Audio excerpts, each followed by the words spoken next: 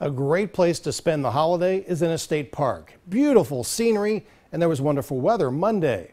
But sometimes there's a not so happy side when everyone leaves. Christy Zimmer enjoys her walks by Craig Beach, and especially her time on the trails. She never knows what she's going to see. Today, she took pictures for a different reason. She didn't like what she was seeing. The lake's so beautiful and the trails are so nice. Um, it's just a shame that people leave trash around. We know that you know you had a lot of people out on Memorial Day weekend, and it was a very popular afternoon, and um, you know it's it's a little disappointing. The park did have many people celebrating Monday.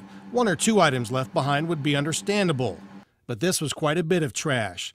Plus, Christy was concerned after seeing broken glass around and knowing people could step on it in bare feet.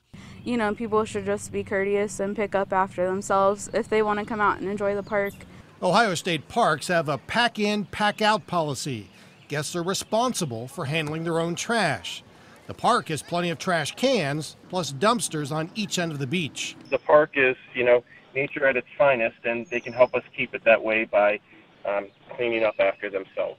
The park has a maintenance crew, but it also has something better people who appreciate nature and want to preserve it for everyone.